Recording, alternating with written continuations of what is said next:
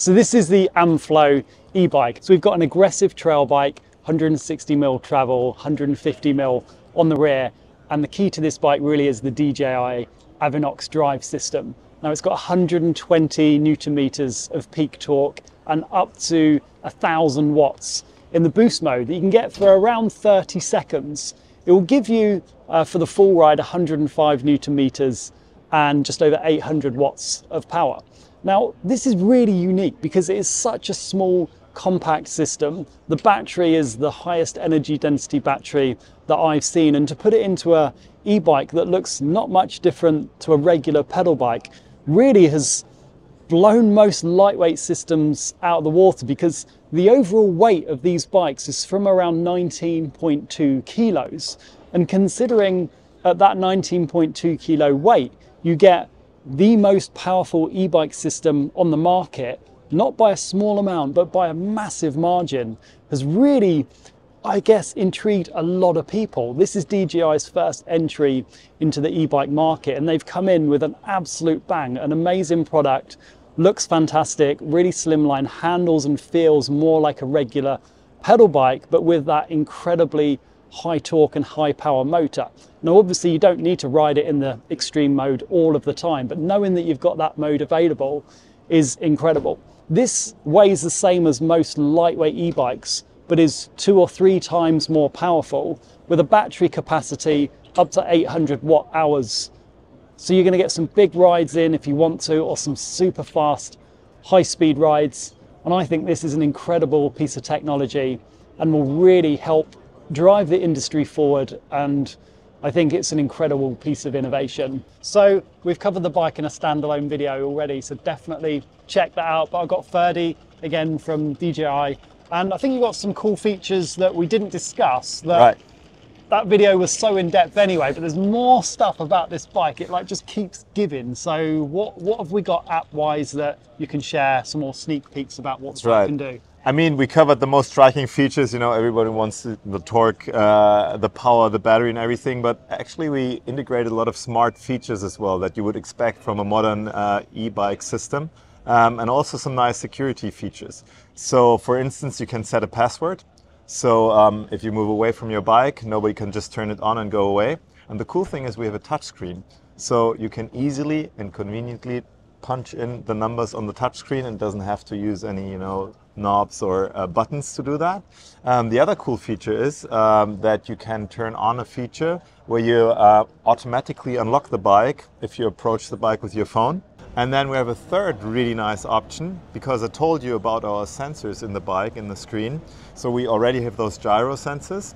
So if you lock the bike, buying an ice cream or something, and somebody moves your bike, you will get an instant notification on your phone either via Bluetooth if you're in the Bluetooth range, or if you have the LTE uh, uh, enabled, you will get over LTE, via LTE, you get a message on your phone that somebody is tinkering with your bike, and the bike will also sound an alarm and tell uh, a nice message on the display that please stop moving the bike. So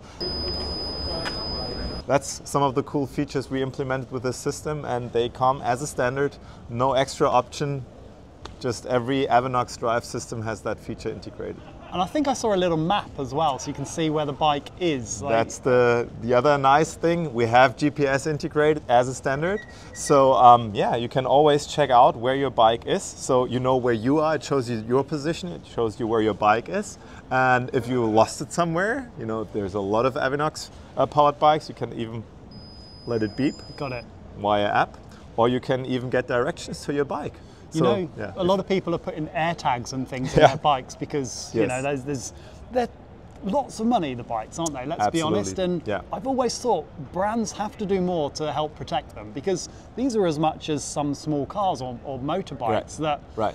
And, and they have no tracking devices. So you're just like dropping bombshell after bombshell with this bike, aren't Com- you? Comes comes integrated as a standard, yeah. So I thought that's uh, really really important as well. Uh, and we feel this is something people are really after as well. When they buy a new and expensive bike, they get some protection for that nice. as well.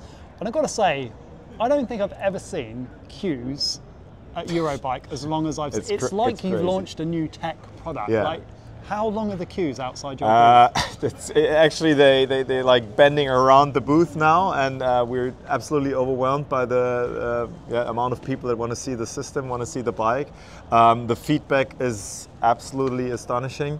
Um, yeah, we did not expect that, but we're absolutely happy, and uh, it shows that we did the right choices in terms of you know uh, configuring the drivetrain with all those specs, building the bike, and it's cool that we already can show the drivetrain in a really cool bike. The bike is perfectly designed for the drivetrain, so it works really well together Yeah. and is a perfect showcase. Yeah, it definitely does. You mentioned it's like an incubator for Yes. the system as a, as a whole piece, but the bike alone is, is a pretty standout. If it was just the bike we Yeah. were talking about, I think it's a really cool feature, but as a complete package. Exactly.